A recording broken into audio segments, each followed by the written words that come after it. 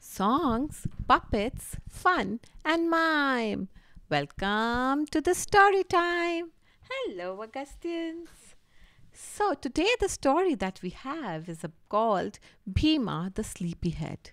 It's from the House of Pratham Books, written by Kiran Kasturia and illustrated. The beautiful pictures in this book are by Shweta Mohapatra, and you can find this on storyweaver.org.in. So let's get started. Ah, uh, uh, before that, who is Bheema? Guess, guess, guess. Let me start. Bheema loves to sleep and just cannot get up early. Ramu, the washerman, scolds Bheema often.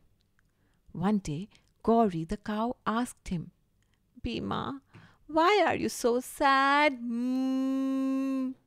Bheema said, Tachu, Tachu, I cannot get up early, and Ramu shouts at me every day. Will you wake me up every morning, please? Yes, I will, said Gauri the cow. Early next morning, Gauri mooed loudly. Moo!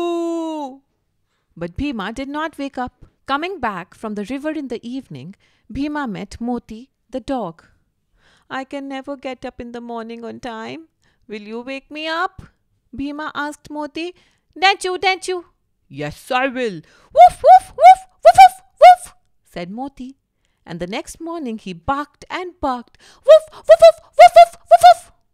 But do you think Bheema woke up, Agastyans? Nope, sir. That evening, Bheema met Chinu, the rooster. He said to Chinu, You crow in the morning and everybody wakes up. Will you wake me up too? Chinu agreed. The next morning, Chinu crowed long and loud. Cock-a-doodle-doo! But Bheema did not wake up. The next evening, Bheema saw Kalu the crow cawing away happily. Caw, caw, caw, caw. Kalu, will you wake me up in the morning, please? Kalu said, Why not? I will caw, caw, and wake you up.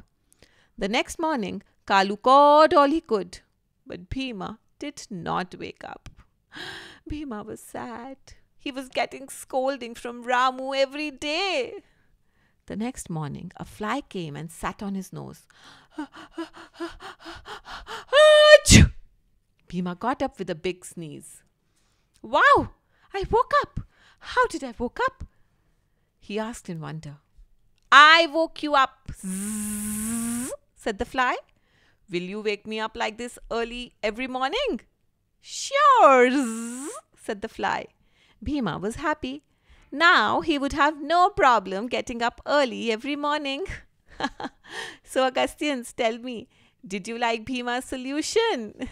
Until next time, ta-da!